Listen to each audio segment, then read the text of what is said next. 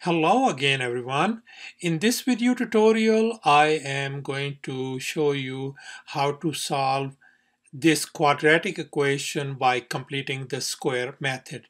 So the very first thing we're going to go ahead and make sure that only x variables must be on the left hand side. So that means we must get rid of this negative 15. So I'm going to add 15 on both sides like this way so what happens next is this thing is gone. We got 3x squared plus 4x equal to 0 plus 15 is 15.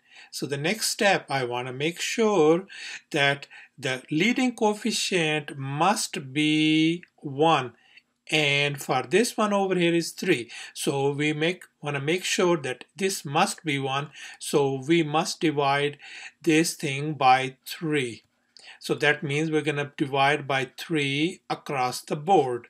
So as we did this one so that means this 3 and 3 they are gone. So we got x squared plus 4 over 3 x equal to 15 over 3 is simply what?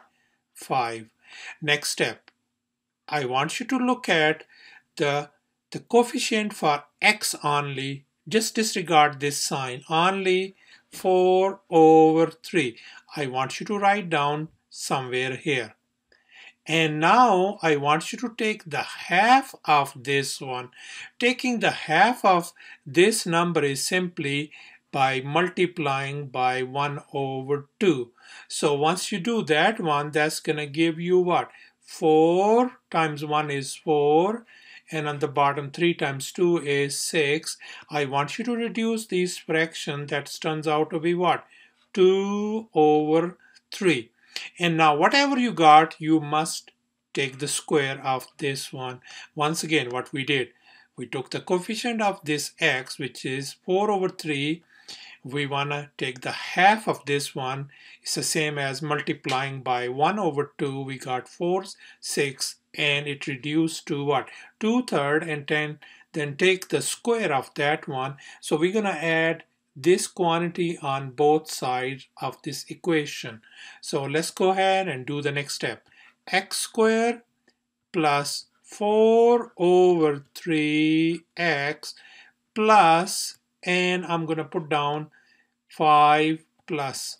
Now I am going to write down this 2 over 3 squared on this side and 2 over 3 on this side as well.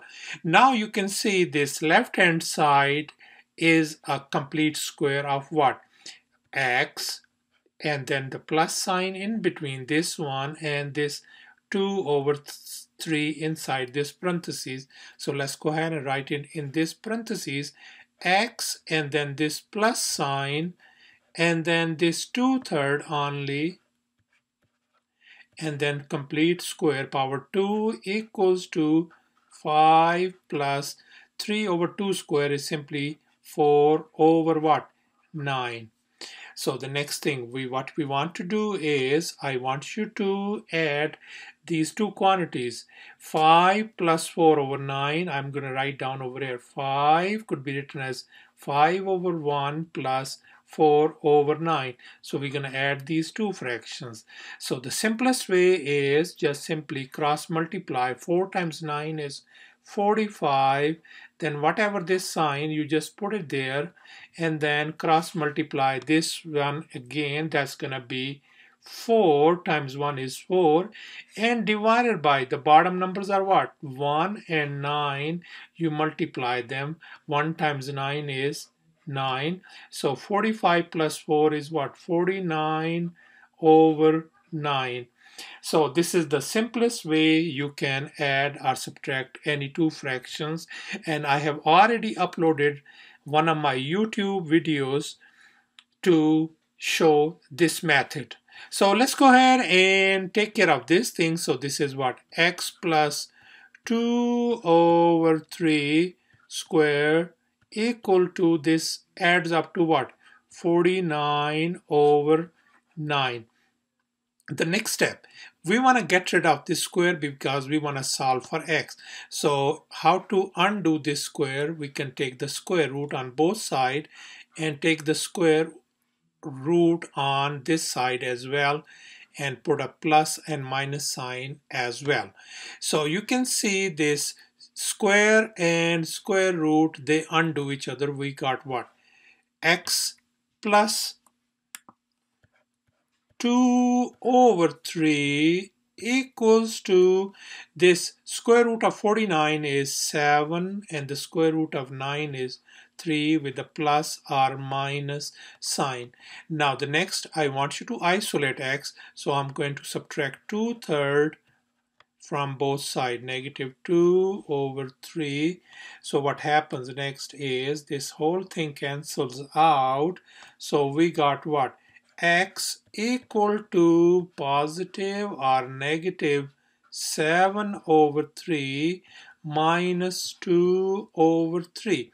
The next thing, I want you to split these positive and negative sign up. So what happens? So this simply become positive 7 over 3 minus 2 over 3 and on this side this is going to be a negative 7 over 3 minus 2 over 3 since we have the common denominator 3 so I'm going to write down 3 and then this become positive 7 minus 2 makes what? 5 over 3 so our first solution turns out to be x equals to 5 third and the second solution we're going to take a 3 at the bottom as a common denominator.